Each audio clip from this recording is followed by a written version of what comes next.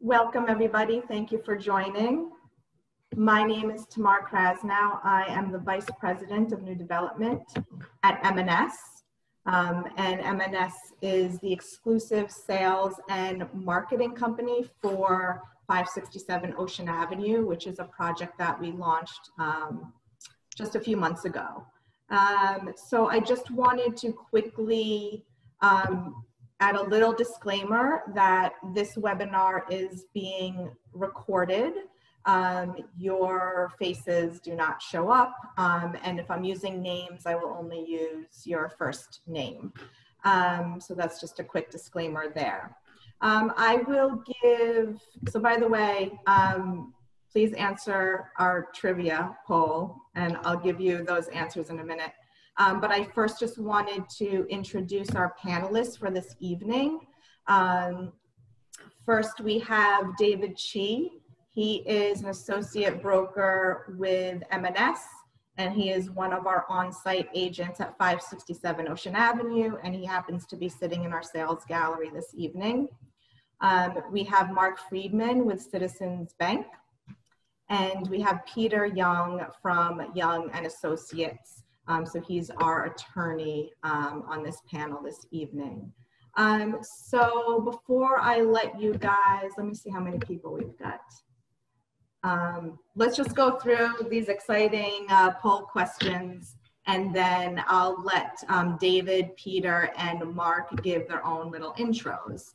Um, so which one of these films did not have scenes filmed, filmed in Prospect Park? The answer is American Gangster. So good for all of you because no one answered that.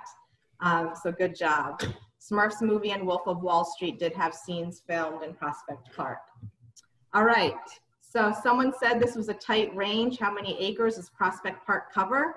The answer, so this is actually evenly matched um, that people answered, and but the answer is 526. So for those of you that aren't familiar with Prospect Park, it's absolutely gorgeous. Ocean Avenue is just a few blocks from it. Um, so if you have not visited, please do. And you have 526 acres to walk through or swim through because part of it is water. Um, and then what year was Prospect Park designated a scenic landmark? The answer is 1975. Oh, Mark got it wrong, it looks like. and those are. what, what so, so the question is, David, you swore you were going to get all of them right. Did you? Or did we lose David? I think we lost David. Ah, okay. All right. Well, we'll get him back on.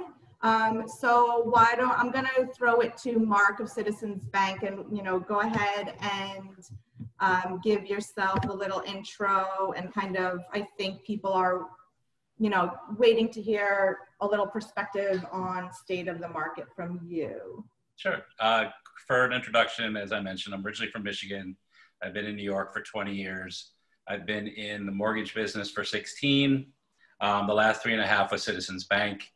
Uh, since I started doing this, I've spent most weekends with salespeople like those that you see on screen, working alongside them in their new developments.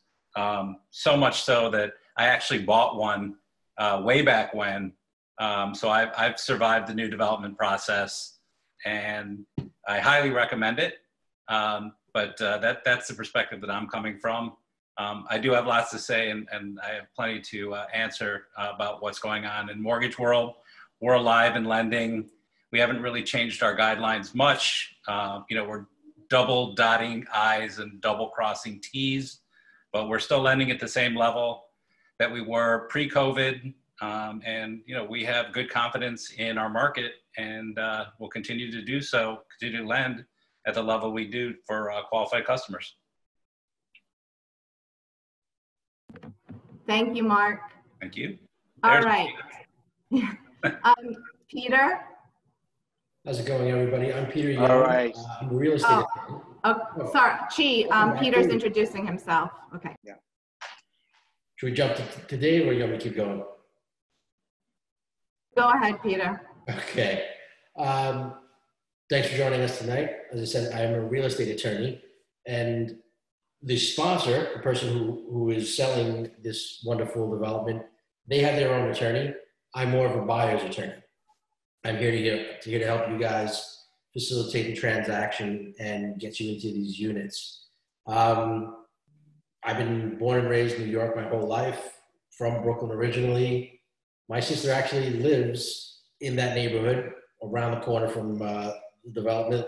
Loves it. It's fantastic. The park is amazing, and I'm dying to know if she got all those answers right. So that's I did. that's, I that's, that's what we need to know. Pretty sure. Um, Can answer them yeah, I'm here to answer all your questions legally, what it takes logistically, and like Mark says, you know, COVID, we're in a strange time, but the real estate market is still going. New York is its own weird animal, and you know, use these experts, listen to what we have to say, and you know, we'll guide you through. Everybody comes out on the other side, and New York's New York. It really is its own animal. Um, so Chi, uh, I'm sorry, David. Um, David, I, I, yeah, I love him, lovingly call uh, him Chi. We've worked together for a long time. Um, so why don't you go ahead and introduce yourself um, and give us a little background, and then we'll jump into the questions that we received. Sure. So my, my name is David Chi. I am an associate broker here at M&S. Uh, I've been a licensed real estate broker for well over 10 years. Um, and much like Peter, I was born and raised in uh, New York City, born and raised in Brooklyn, actually, actually not that far from here, Fort Hamilton Parkway, between East 2nd and East 3rd. So I know this area very well. Uh, pretty much grew up around the park. Um, yeah, we're very excited to have you guys on board here, and I'll be more than happy to give you a tour and uh, answer any questions that you guys have. Thanks. Thank you, David. All right, so that pretty much takes care of our introductions. Um, so I did want to jump into um, the questions that folks did um, answer, uh, that did ask previously when they registered. I did also want to make a note, time permitting, we'll also open up if you'll see there's um, a Q&A section for the attendees. Um, so assuming we finish up with the questions that were asked previously, we'll jump into some live questions that you guys are putting in your Q&A box. Um, so really, I think that the one question that kept coming up um, from folks was, you know, is it a good time to buy now? When is a good time to buy? Um, you know, and especially like for first time home buyers, do they wait? Do they buy? Um, and I think, you know, all of you probably have some, some good advice on that. Um, I'm not sure who wants to start, but that's kind of like a more general question that kept coming up. And I think that's a good starting point um, for this. I can jump in. Sure. So, as I mentioned in my intro, um, I bought new development, and the year that I signed my contract was 2008. So, if people remember back, that was the beginning of the end of the financial crisis. And being in the financial services business, I pretty much wasn't sure if I was going to have a job uh, because every mortgage company, bank, you know, people were just folding and falling over like dominoes.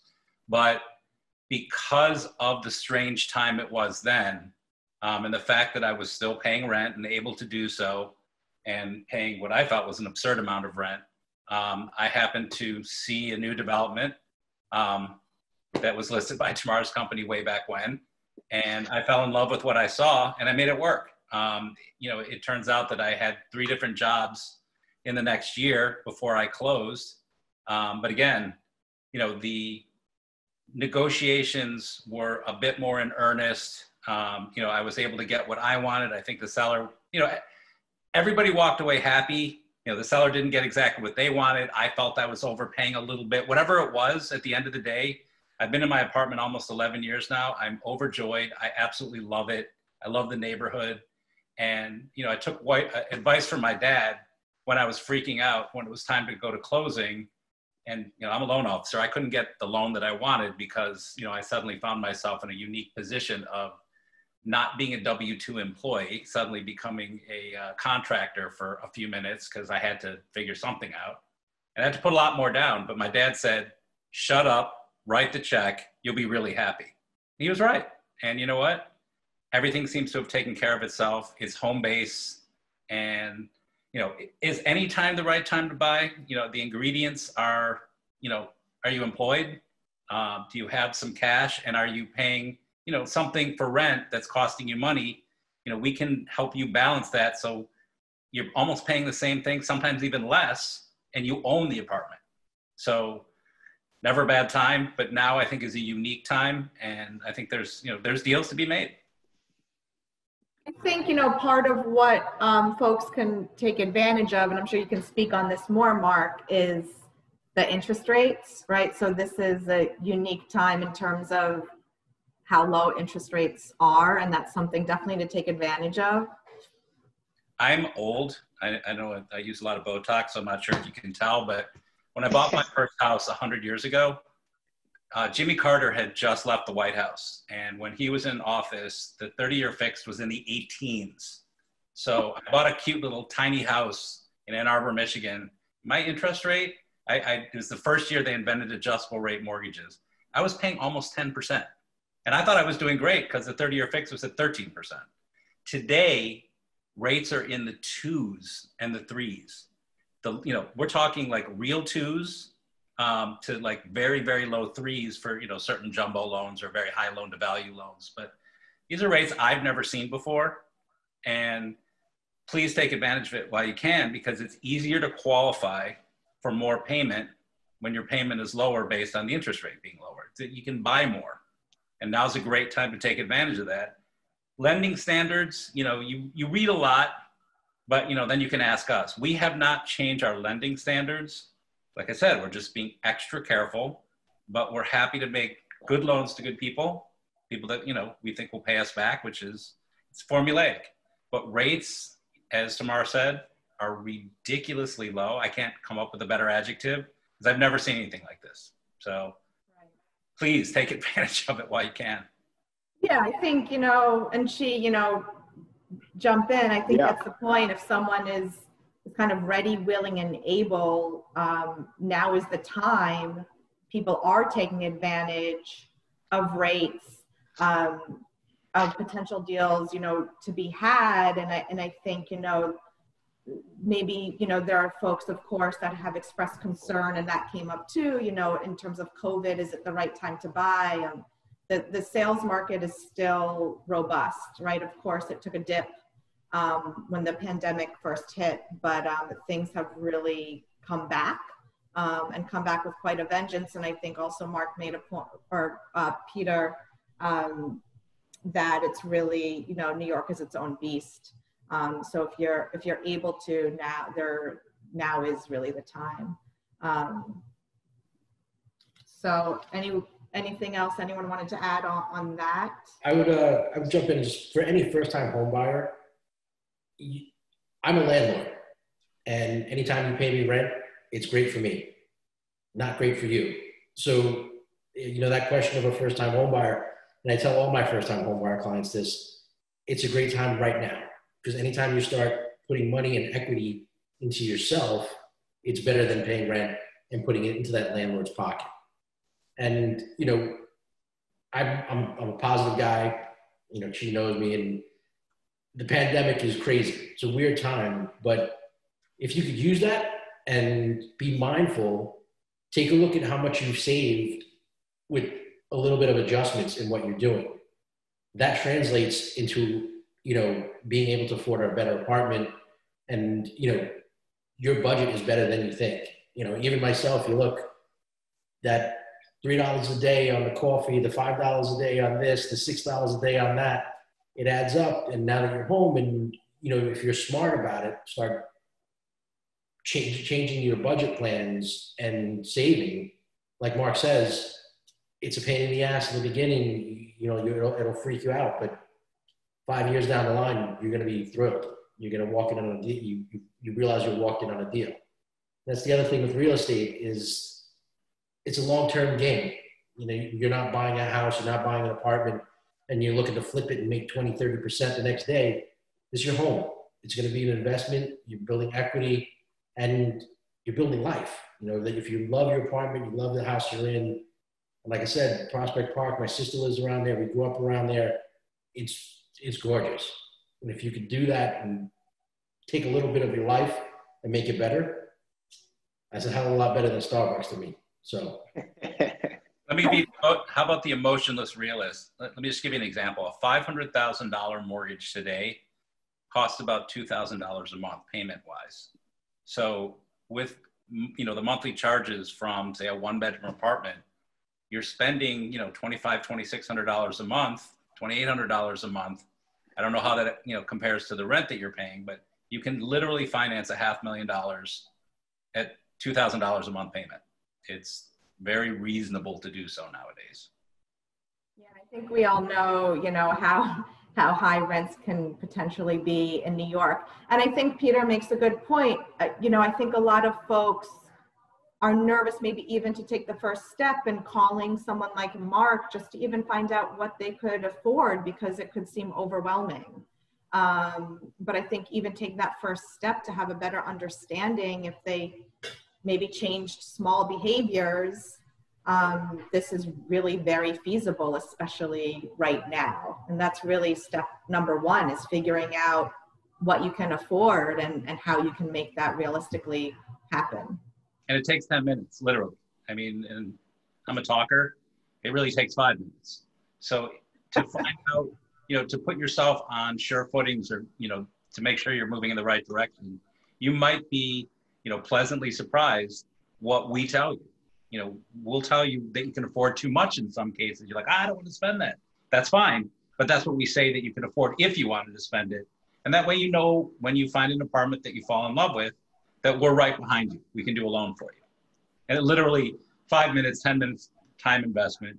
You get the, you know, I call them the golden tickets, you know, if you saw Charlie in the Chocolate Factory, it's a pre-approval. It's all you need. And it, it's it's literally the exchange of information, nothing more. Um, thank you. Actually, that leads a little bit into one of the other questions that we had.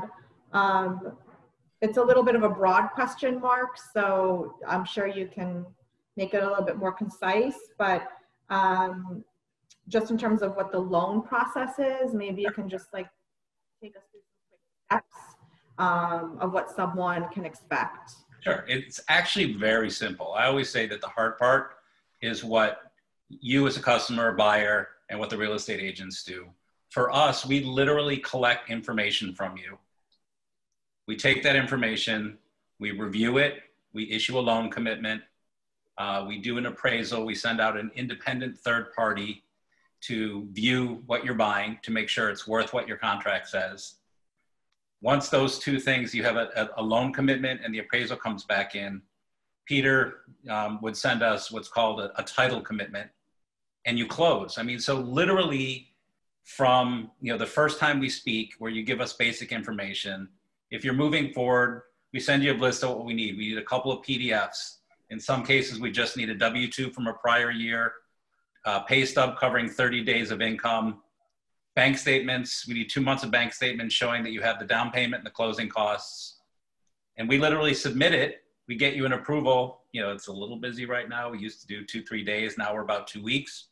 Um, but we send you an approval. The appraisal gets done in about 10 days. And within about two to three weeks, you're ready to go. Not that you close in two to three weeks, but it's literally a bunch of emails. There's not too much torture. If you're self employed, it's a little bit more torture. We ask for tax returns. Um, in some cases, we ask for business bank statements because part of what uh, COVID has done, if you're self-employed, we just want to make sure that you might have really solid 2019 tax returns. We just want to make sure that you're doing okay this year. So just show us. Beyond that, though, same process. You send us a few PDFs. We send you a loan commitment. We do an appraisal. The attorney sends us a title commitment. We're ready to close. It's it's not. I know it, it. It sounds daunting and scary to some people, but it truly is a simple process. Finding a great apartment, I always think that's hard, you know, because you have a lot to choose from sometimes. But when you have a good sales team and someone to guide you, you know, then it becomes a little bit easier. But literally, two week process. Okay, thank you. Um, while we're on Mark and financing, I might as well just continue with some of these questions. Um, so one of them, which is um, like required credit score Sure. and deposit. You know, I know deposit depends on a lot of things, but just um, credit score too. So credit scores, um, everyone has like a minimum. Our, our minimum is 640. Um, although we will go uh, a little bit lower with compensating factors, we'll go down to about 620. Um, there's a difference between a down payment and a deposit. And you know, real estate agents hate when I have this conversation with customers, but certain loan sizes, we let you put as little as 3% down. Um, you, you'll be asked for more when you sign a contract, but we will lend you up to 97% of the apartment's value and or what the contract says. Uh, if the loan size is 510,000 or less, we will lend you up to 95% um, if the loan size is 850 or less. So in theory, three or 5% down um, is all we require. As long as you can carry the payments, we're good. Um, yes, but a lot of the times for, you know, and, and David, if you want to jump in, for contract deposits, Very you different. know, Very Ten percent. ten percent That's right. is typically the, typically the standard. Um, you know, actually, you know, in, in these times, and we listen to, you know, five sixty-seven at five sixty-seven Ocean, we've heard some buyer feedback and we were able to, you know, adjust the down payment where you're doing five percent at the contract signing. And then within, within three months of your signed contract, you're doing the remainder, the other five percent, just to give um, folks a little bit more time to come up with that initial down payment. Um, and um, another finance question. Um, I'll stop is- at some point. I swear I will. I promise. yeah, I mean, we'll we'll Yeah, get you're to the some, most important person here, Mark. I mean, you're the money guy. This. This is where the Maybe I just eye candy. That's right, baby. I mean, this is where the bulk of the questions came in. yeah, yeah. Um, so another question came in um, about FHA, um, if that can be used. And I know you have a response that. I always ask somebody who asks me about FA, FHA loans and condominiums why you need an FHA loan because the program is truly designed for people with super limited or no credit um, or really really low credit scores um, in like the the sub 600 like the the 500s and you know it's a great program for first time buyers without question but we have other programs that are more, uh, in some cases, affordable and more flexible than the FHA programs uh, are. And you know, if the month, if you compare the monthly payments, or if you're putting less, you know, if you're putting less than 20% down and you are required to get mortgage insurance, with an FHA loan, even if you put 20% down, you will have mortgage insurance on that loan for the life of the loan. It never goes away if you do a conventional loan, a non FHA loan, and you put less than 20% down, and you get to the point where you're at 20% equity, that mortgage insurance comes off. Your payment actually drops. Or if you accelerate the payments on your loan, or if your apartment increases in value and you can show us as a servicer that your apartment is worth more and you have 20% equity, the mortgage insurance comes off on a conventional loan. On an FHA loan, it does not. So, yes, they can be done ish but I don't know what the reason would be in a new construction condo. I, I would I would ask the question first to give a, a better answer. Okay. Yeah, and, and you answered part of this actually. Someone said what the pros and cons of putting 10% down versus 20. So rates being as obscenely low as they are now, if you're somebody who is earning money, I mean, obviously, if your money's sitting in a savings account, I'm a savings account guy. You know, you're making a half a percent if you're really lucky. But if you're if you're making money in the stock market or you're doing something else with your money, and the monthly payment is still reasonable to you, with 10% down, um, it makes sense. I'm a fan of being in less debt. So if, the more you can put down, the merrier, because people will remember you because they're really happy with their payment because that's what we are we're the money like you said it we're the mortgage we're the money people if you have a lower payment, you know, you might not be like one day if you're like, oh my God, I'm paying so much to live here. You wouldn't say that, you know, if you had a, a bigger down payment. Like that, that's one thing I would never worry about. So it really, it just fits your situation. Um, if you're limited on cash, like say you just started, um, you know, in your position, and you might have, you know, a great salary but not a ton of cash, why not? Because, like I said, you have to pay rent, you have to pay to live somewhere. This makes it, you know, granted the the deductions have all changed um, with uh, I don't even say the name of the act anymore, um, but you know, mortgage interest is tax deductible up to seven hundred and fifty thousand dollar loan sizes Property taxes are tax deductible up to $10,000 per year. So if you still itemize, you know, there's a benefit. So I would have the conversation with the customer to see what works best for them. But money is so inexpensive right now that borrowing doesn't cost much that you know I in good conscience can tell people, hey, you know, if you're making money in the stock market or elsewhere with your money, not a bad time to borrow a little bit extra. Right. Okay, got it. Thank you. Um, so I did actually want to um, go back because we did have a few questions um, and maybe David, you can address these um, just in general about that were particular to this building, to 567 Ocean, and about mm -hmm. um, if there was if there were rentals or maybe medium income. So um, maybe, and actually that could, that will lead into some of the other questions that we had about um, if there's a tax abatement. So maybe if you can just give a quick background on what the building is. Um, sure. And like a few starting prices and then um, kind you of got it. So our building here is a brand new ground up development. There's 108 total units and we are a free market condominium for sale. All right. So we will not have any rentals.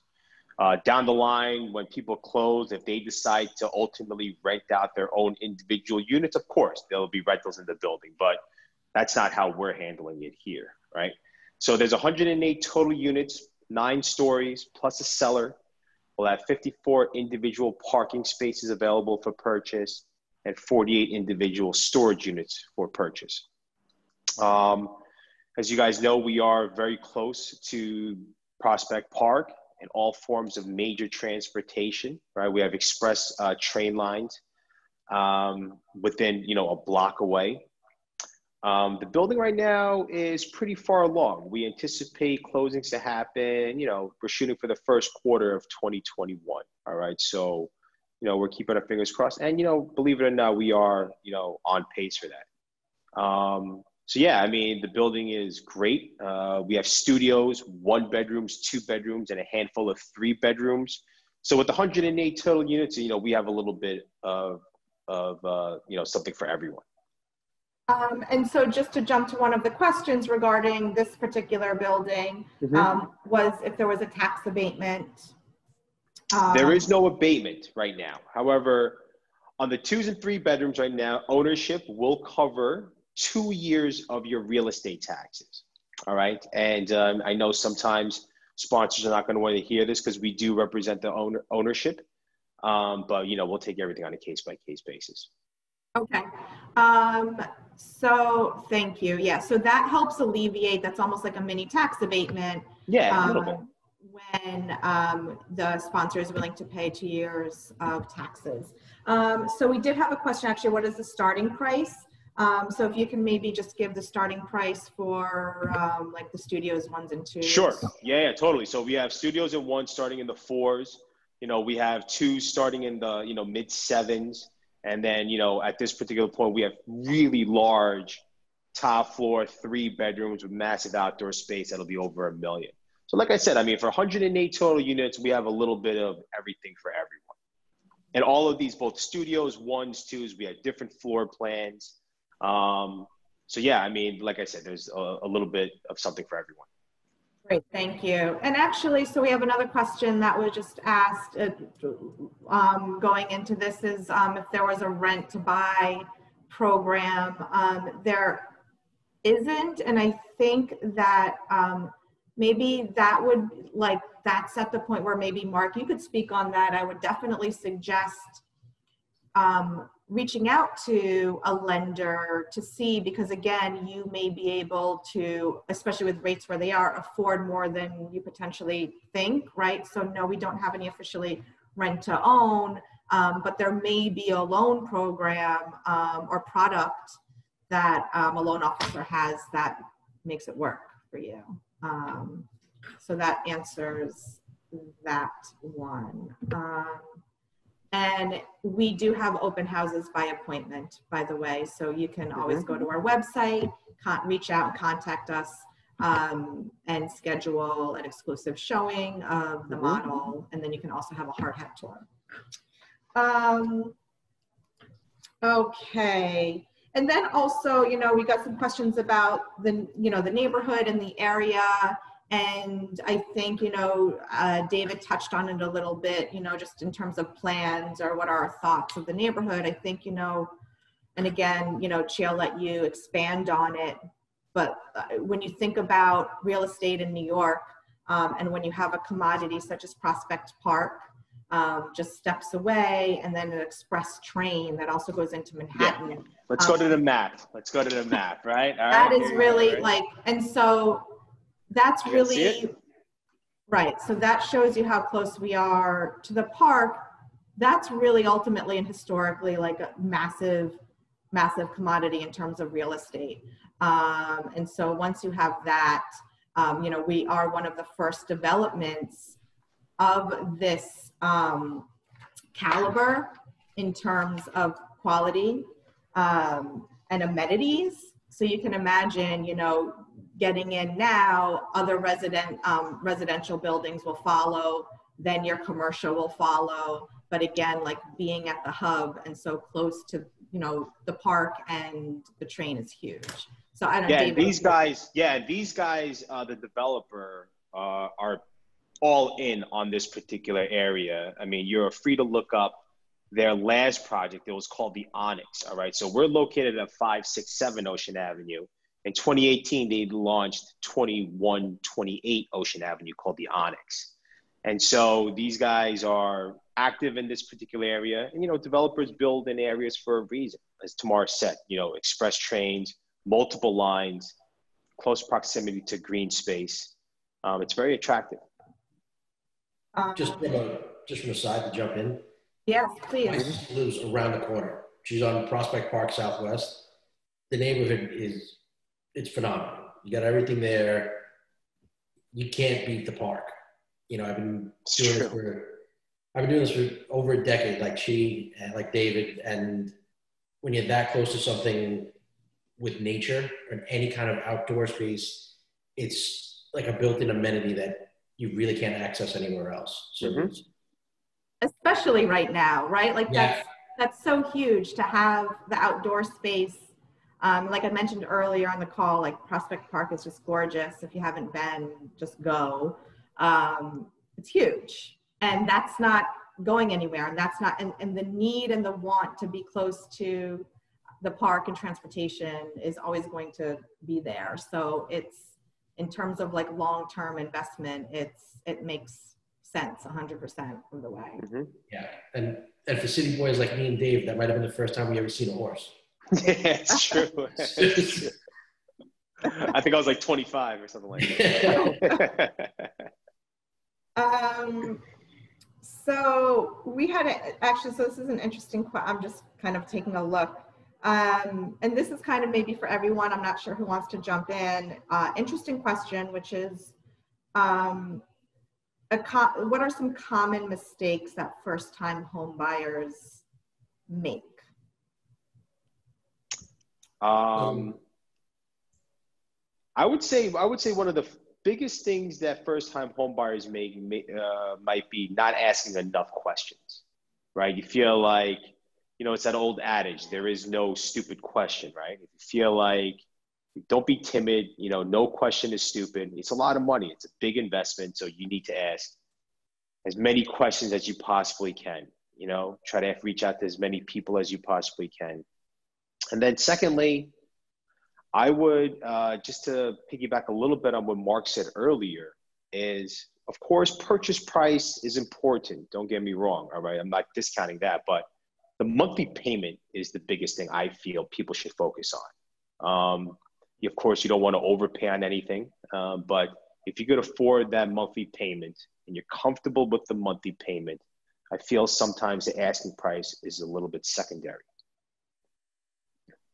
I, I think, in my experience, what the biggest mistake I've seen is people not knowing what they actually can afford. I mm. think you, you're you're really your first step in any kind of real estate endeavor, and is to talk to Mark. Mm-hmm. Like you really need to sit down and talk to the finance guy. You may be you may be under budgeting yourself, and you may be over budgeting yourself, and you want to take those factors into what you can actually afford. And without having a qualified expert tell you, you're you're kind of poking around in the dark sometimes. And um, second thing is when you're factoring in that those financing costs, just keep in mind closing costs. Like Dave said, ask questions. What what is my what is going to be my final number? You know, try to get an idea as to where you're actually going to wind up. And again, talk to Mark. You, you got to know what you're what's in your pocket before you start walking around. You may you may be looking in the completely wrong neighborhood. You could be looking at this building, and you could be you're looking at something much worse. Right, right.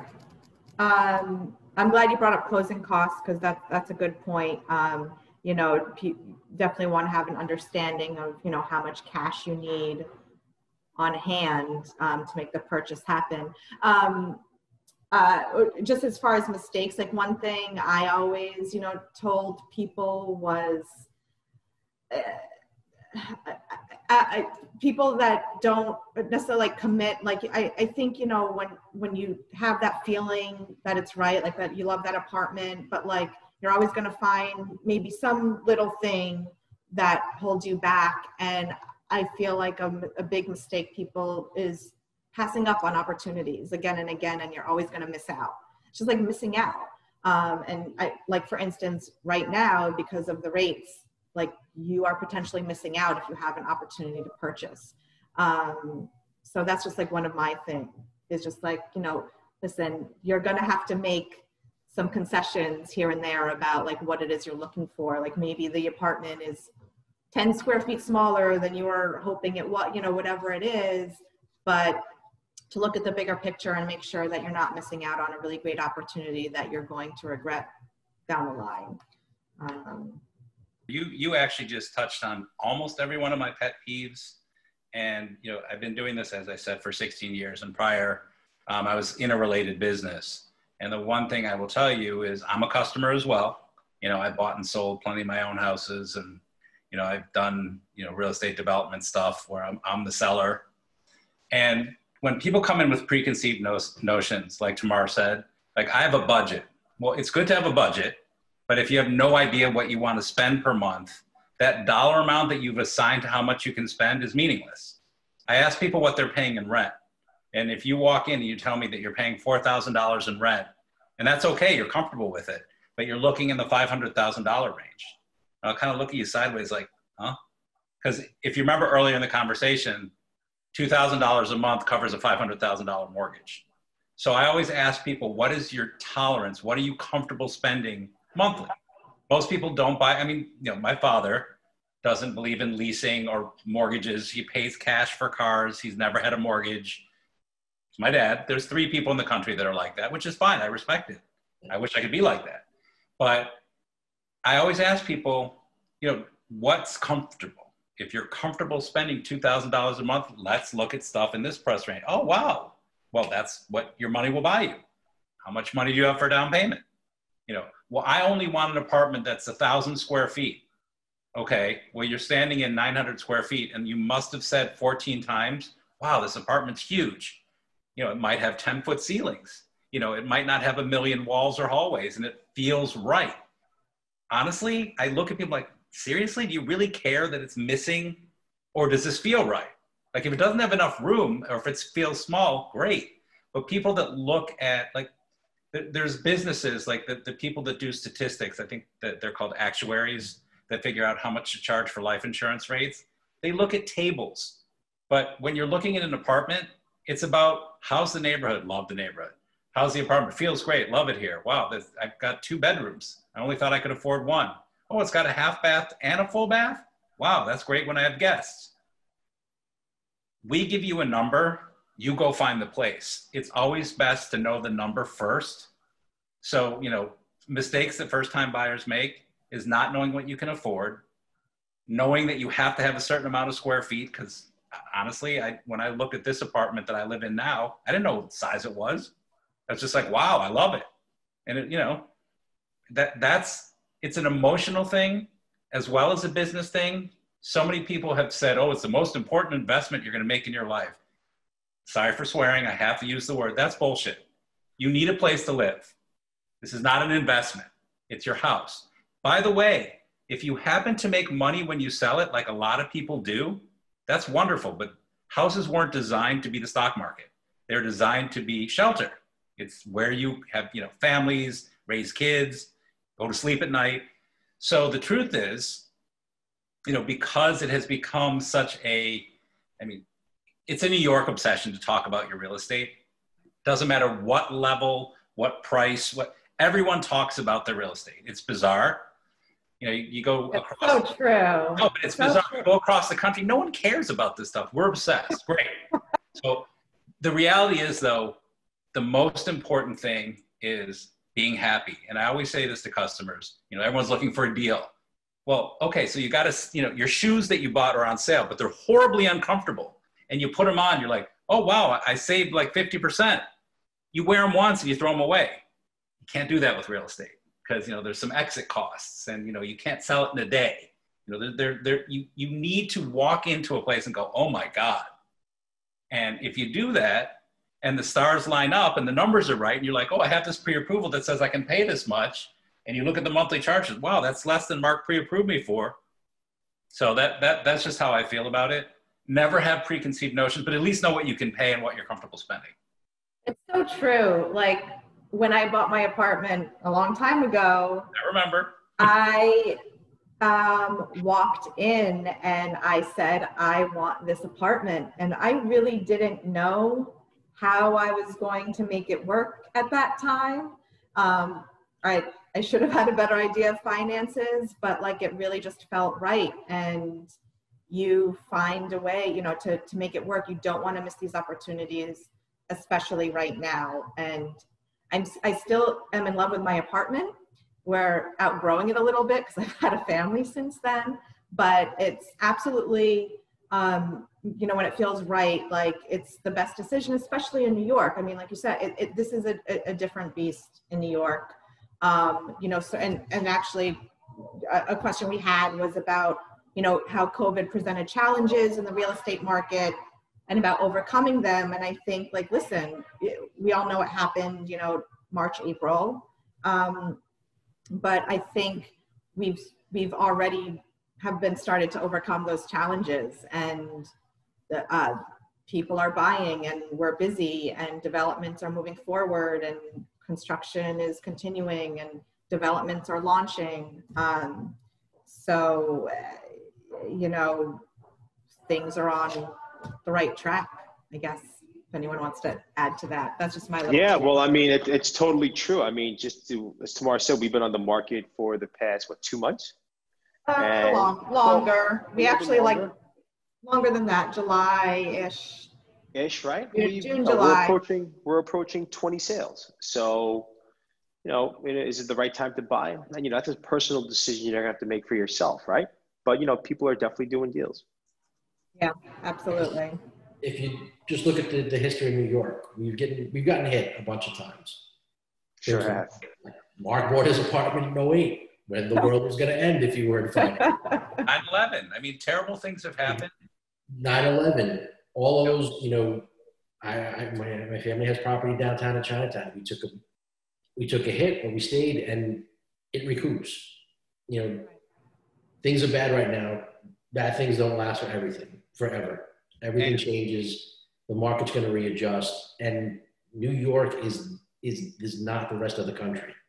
We are the real estate market here is a different animal everywhere else where you see dips, you, you don't tend to see that in New York and it rebounds a lot quicker. So, you know, everybody keep that in mind. And like Mark keeps saying, if you're comfortable and you got that number, and, and to answer Mark's question, why everybody's so obsessed and talks about buying and owning a property in New York, it's because you own a piece of New York, man. Not true. You Right. own a piece of New York. Yes. Who doesn't want to say that? I own a piece of New York. Yeah, absolutely. Go anywhere else in the country. He's like, yeah, I own a pro- piece of New York. Literally own a piece of New York City. Come on. Let me throw one in for you too, because you know it's it's all over the headlines. It's gloom and doom in the post. Everyone's leaving. Listen, I'm gonna be the first to admit, you know, city has probably fewer dollars coming in. Um, we're gonna go through a weird period because you know we got to figure out how to finance government. But it's happened before, and I think that you know there's too many business leaders as well as you know other folks in the government. We'll we'll, we'll get it together. Um, but for everybody who's left, you know, who's threatening or, you know, who's left the city for uh, literally green, green pastures and no city living, um, there's somebody buying their place when they leave. I mean, Right. my, my purchase business is insane and it's across all boroughs, all price levels.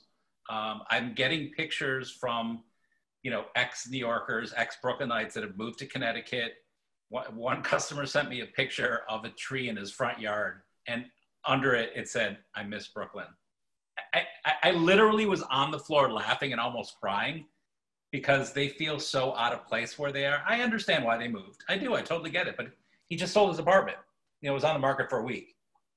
So his family, you know, they did it for whatever reason. Some, you know, new family is moving into the apartment. So it's it's a transitional time, but you know that means opportunity to me, especially. You know, we'll say it again with the rates. This is the 2008 moment that I saw when I was like, I don't think I'm going to see this again in my lifetime. I mean, you know, maybe now it would have been again, but you know, rates weren't that low when I bought.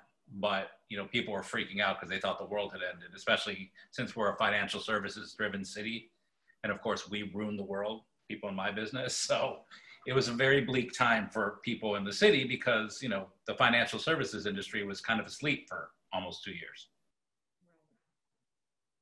Um, so, in the interest of everyone's time, I did, that was pretty much the bulk of the questions that we received in advance. Um, and I think we got through a lot. I did um, want to uh, offer folks an opportunity if they had like other questions that they wanted to shoot over to us in the Q&A. Um, and if there's anything else that you kind of wanted us to go over. Oh, I'm sorry, I did skip one question. Uh, David, this is for Mhm. you. Mhm. Uh, is the HOA fee included in the maintenance fee? So maybe you can just clarify exactly um, Sure. So in New York how, City, what we it's very- call that, right? Yeah, yeah, yeah, right. So HOA, is you know, commonly known as homeowners association fees, right? It's the monthly dues, if you will. That's something that you, hear outside of New York City. In New York City, in condominiums, they're generally called common charges. All right, it's the same thing. Now, maintenance is for co-ops. All right. Again, we're a condominium, so they're considered common charges. All right. So in common charges, you will have, you know, your monthly fee to maintain the building. You pay a separate tax bill, all right? Whereas co-ops maintenance will, you know, add both your overall expense for the building and your your percent of common interest and the taxes together because there's one tax bill on the overall corporation, if you will, right?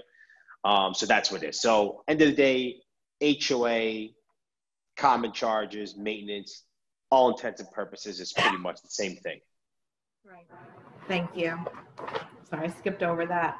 Um, Just to, uh, just legal, legal wise, when you are looking at apartments, just, you want to specify whether you're looking at a co-op or a condo. Yeah, totally. There's, there's different fees associated with each, each type of ownership. Um, the, the, the structure of it's going to be a little different. And like Dave says, they all, sometimes they play fast and loose with, you know, your common charge maintenance, but the big distinction is common charge is is is like an HOA fee, but it does not include your real estate taxes. That's right. No taxes. Whereas if you're in a co-op, it is when they say maintenance, it does include your ta- real estate taxes and the you know, common charge area for, for your, your shared equity in the, in the, in the full building. So just, you know, things to keep in mind when you are, are looking at out there for different types of property.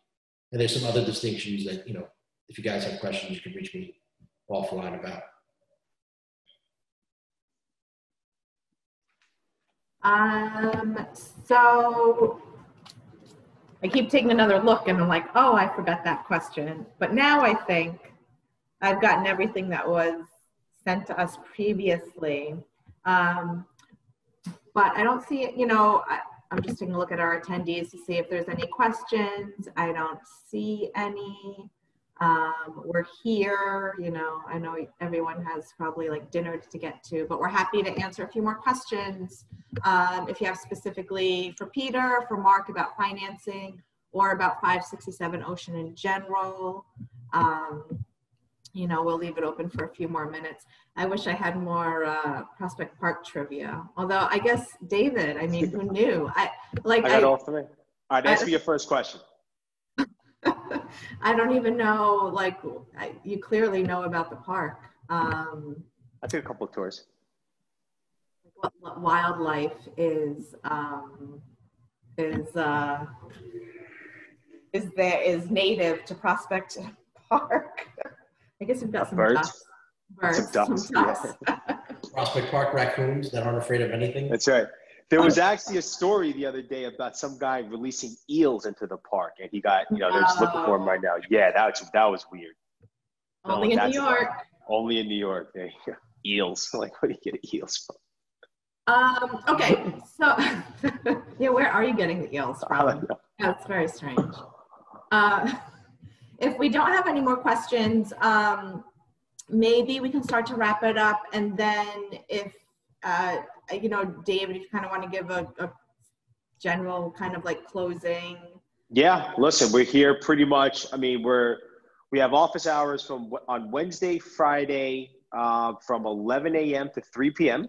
So we ask that you uh, contact us in advance. We'll schedule, give you the full tour, of course, and then we have open houses um, you know, Saturday and Sundays, again, by appointment.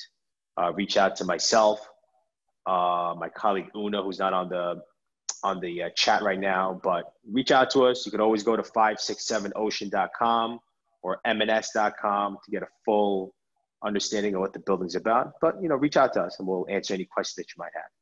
Yeah, and just to wrap up, like really, I, I realized like one thing we didn't, I, I, I kind of touched on it, but just in, in regards to the building, um, you know, closing in the spring, which you had mentioned, um, offering the two years real estate taxes on our larger units. Um, and then just again, the caliber, when you're talking about purchasing right now, when you have, um, you know, everything kind of lining up, which is a building close to the park, close to transportation, tons of amenities, high quality with low interest rates, um, right now, being able to take advantage of that, um, it all kind of makes a lot of sense. And if it feels right, and you're not going to know if it feels right or not if you don't if you don't swing by. You're not going to know if you can afford more or less if you don't speak to Mark, um, and of course speak to Peter because the legal stuff clearly matters. Um, you're going to need counsel. Kind of important. Yeah, yeah, yeah. kind of important. Um, so that kind of just like wraps up some of that general um, building info. Mark and Peter, did you have anything? I'm just checking the question and answer again. Um, Thank you for including us. Um, you know, happy to help.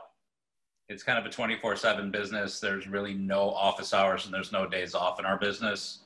So we're working when you're working. You know, I always joke with people: if I'm awake, I can do your pre-approval. Um, you know, when I'm sleeping, I'm not answering the phone but we, we know we're, we're a commodity.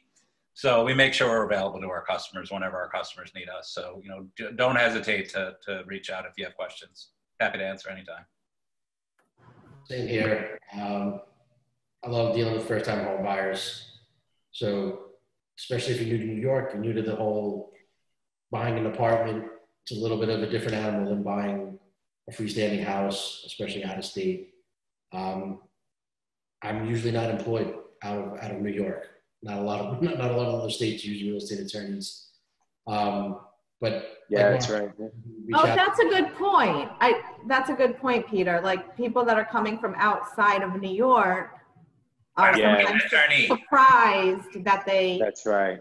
It's all Isn't it- attorney based in New York. In New York, and, and it's all attorney based. Everywhere else, it's title based, right? Yeah, Title New York, based, it's, it's all yeah. draft the contracts, That's right. Yeah, which is why Peter's very important in this entire transaction. If Yeah. you're looking to purchase, yeah, you get a contract when you buy from a sponsor in New York. It's about sixty pages. yeah, Buy something in uh, in PA, the contract is three pages long. yeah. So It's three pages.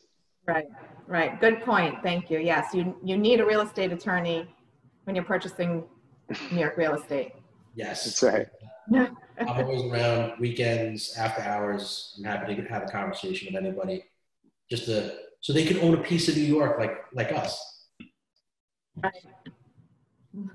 Join the club. Okay, um, I don't see any other questions that came in in the Q and A. Um, so I think for now, um, well, this was fun. Um, I kind of Yes, want to do great. it again. We'll see. Thank you. Um, do it again next week. well, maybe not next week. We'll do it again. I'll figure out more trivia that David won't know the answers to. Wait, wait, wait. Answer the. Let's let's finish. Let's end it with that. I mean, ask the questions. Let's see if I got them. How do No, I know if I oh, got but, them? oh, you missed it. You had you had signed you your Wi-Fi crashed. Yeah. Okay. So American Gangster was the one movie that was not filmed in Prospect Park. So The Wolf of Wall Street had scenes there, and so did the Smurfs movie. I'm only familiar with the Smurfs movie. That tells you I've got little ones. Exactly. Um, Prospect Park covers 526 acres. It's gorgeous. Yep. Um, Prospect Park was designated a scenic landmark in 1975. 1975. Yeah. All right. Who See, knows that? Why do you know that? Knows that. Like, that's, That's so what happens when you guys take the tour. Go take the tour. Buy an apartment here. Go take the tour in Prospect Park. It's wonderful. I mean, you have the parade grounds, you have Yeah, the for Botanic sure. Garden, there's a zoo. Yeah. I mean, there's the museum. fantastic. It's it's really all incredible. Me and my Um, sister, we do the turkey trot. It's a fun run. Thanksgiving. and then Thanksgiving dinner. Thanksgiving 2021. Maybe not this year, but 2021. um, okay, so um, to all of our attendees, thank you. For Thank you. Thank you. Really. yeah. Thank you very much. And, um, you know, please reach out to us or Peter or Mark with any questions. Um, and we hope to see you soon, you know, whenever we'll do another one of these. Um, and I guess we'll sign off. Thanks, everyone. Happy Bye, guys. Have a good night, everyone. Have a good night. Thank you.